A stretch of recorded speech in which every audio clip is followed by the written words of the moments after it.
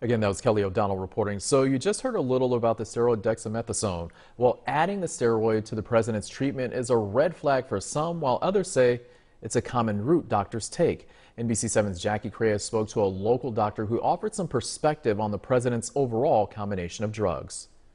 With news that President Trump's oxygen levels dipped too low, there was worry that an addition of a steroid to his treatment signaled something more severe.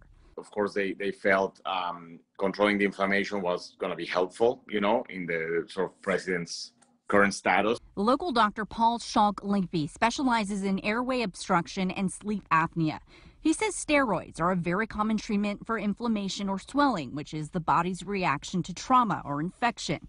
Different patients at different stages of the inflammation or the infection can receive steroids, so I wouldn't read that much into it but it's also proven to improve critical COVID 19 patients.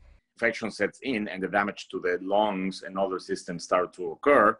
The body reacts, you know, with this very um, aggressive inflammatory response. That aggressive response to contain the damage can create problems in itself. And in President Trump's case, Schalch Lepe says it may have caused inflammation of the lungs, affecting his oxygen levels.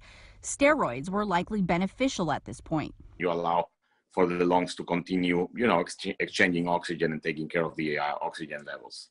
So it has been added to work in unison with the other two drugs the president has been receiving, remdesivir and an experimental drug cocktail.